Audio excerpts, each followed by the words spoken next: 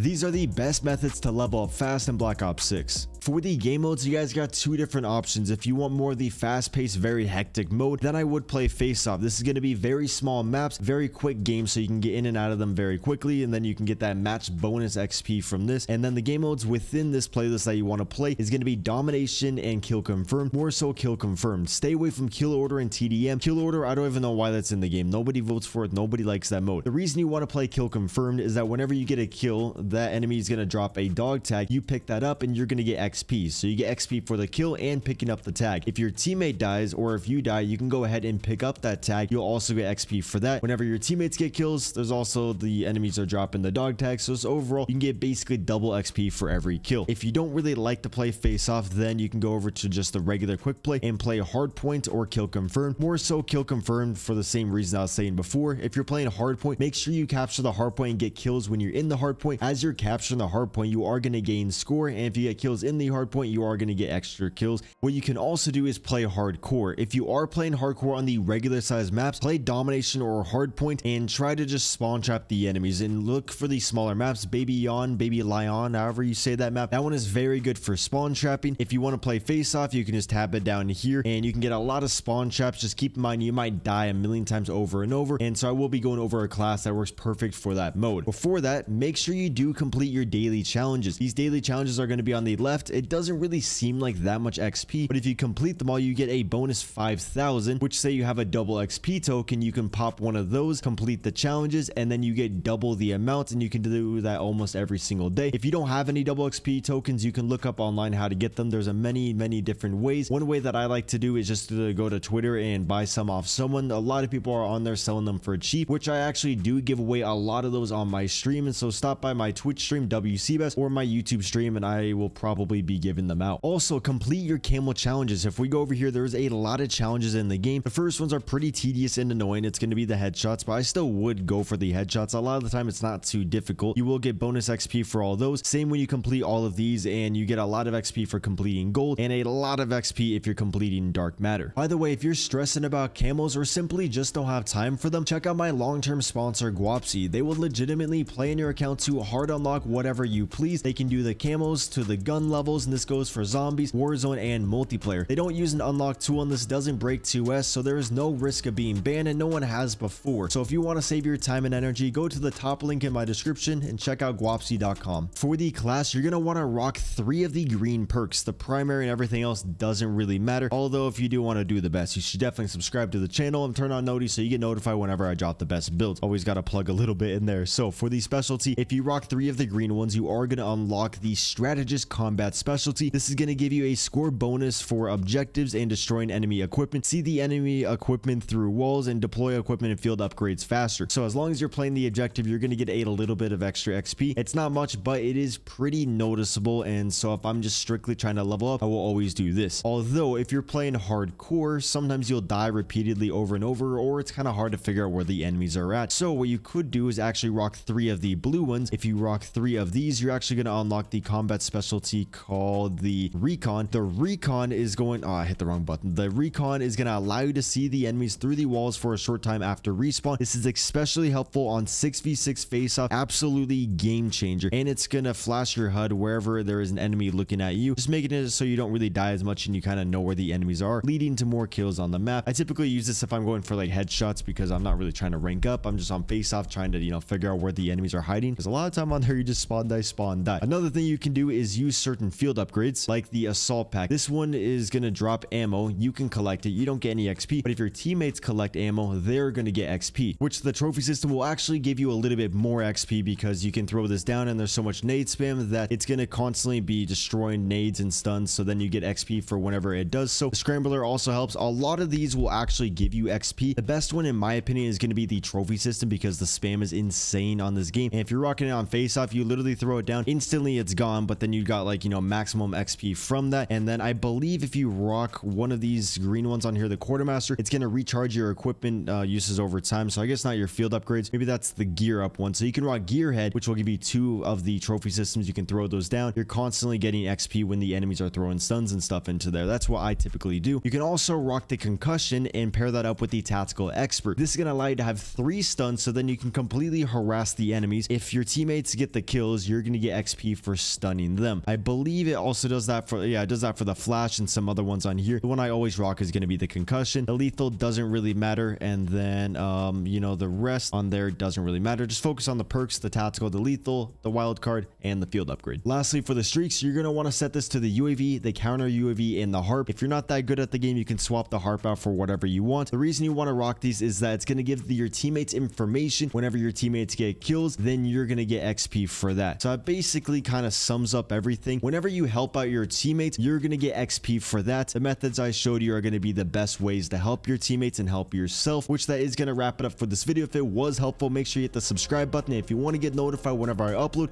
hit the noties on, leave a like if this was helpful, and I hope it was helpful.